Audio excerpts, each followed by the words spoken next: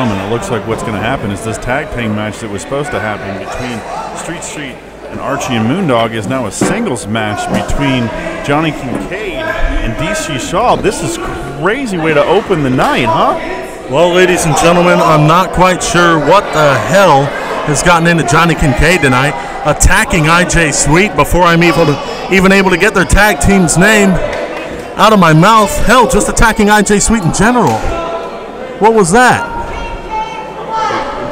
Archie up to some sort of master type of thing? I mean, last month they turned on Sweet just to begin with, right?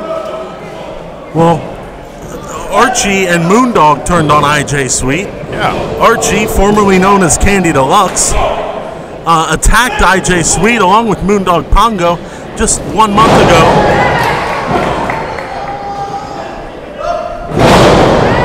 And now Johnny Kincaid has even turned his back on IJ Sweet. Mr. Archie didn't know this was a tag team match to begin with. How do you come into a show like Halloween and not realize you're supposed to be in a match? Exactly. This is Brawloween, and somehow Mr. Archie had no clue that he was wrestling today. I don't, I don't, I don't believe it. I'm just gonna say And- that right now. I don't believe it at all. Take a look at I, or uh, excuse me, at Johnny Kincaid as IJ Sweet has taken himself to the back. Johnny Kincaid showing off his varsity track skills that he claims he has so desperately, and DC Shaw is now trying to find some way to pick himself back up in what, at least this far, has been a two-on-one situation. If Johnny Kincaid has varsity track skills, I was an Olympic gold medalist. No kidding there. We've got DC Shaw just eating some hard offense oh, from Johnny Kincaid. DC Shaw able to get nothing against Johnny so far until now because here comes DC Shaw with an overhand Oh. chop across the chest. Vicious chops. Oh, and a vicious overhand chop right there to boot.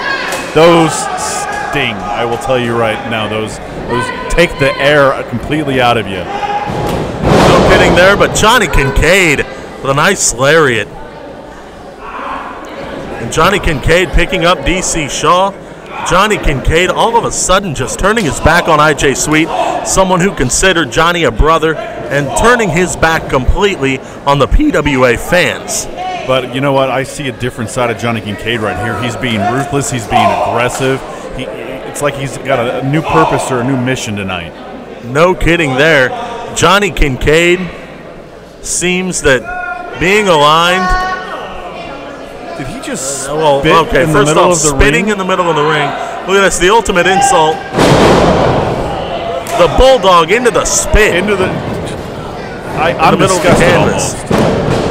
Oh, but Johnny. Kincaid seems to think that aligning himself with someone who used to be the president of this company could get him anywhere. Somebody who virtually now has absolutely zero pull in this company. And now we're going with the noogie. Oh, now we got a reverse chin lock here.